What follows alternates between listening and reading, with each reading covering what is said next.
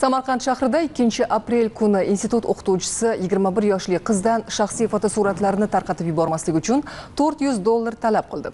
Bu haqda tergov departamenti xabar bermoqda. Ma'lum qilinishicha 2 aprel kuni samarqand shahri bo'yicha ichki ishlar organlari faoliyatini muvofiqlashtirish bo'limiga 21 yoshli fuqaro ariza bilan murojaat qilib bu haqda ma'lum qilgan.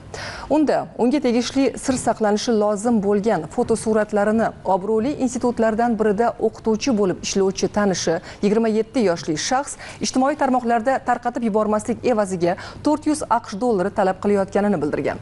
Shu kuni soat 13:00 da samarqand shahar qo'shhovuz mahallasi hududida fotosuratlarni tarqatmaslik evaziga tovlamachilik yo'li bilan 400 aqsh dollarini olayotgan shaxs ashyoviy dalillar bilan ushlangan. Mazkur holat yuzasidan samarqand shahri bo'yicha ichki ishlar organlari tergov bo'limi tomonidan tovlamachilikka nisbatan jinoyat kodeksining 165 moddasi birinchi qismi bilan jinoyat ishi qo'zg'atilib gumon qilinuvchi tariqasida jalb qilingan. Hozirda tergov harakatlari davom etmoqda.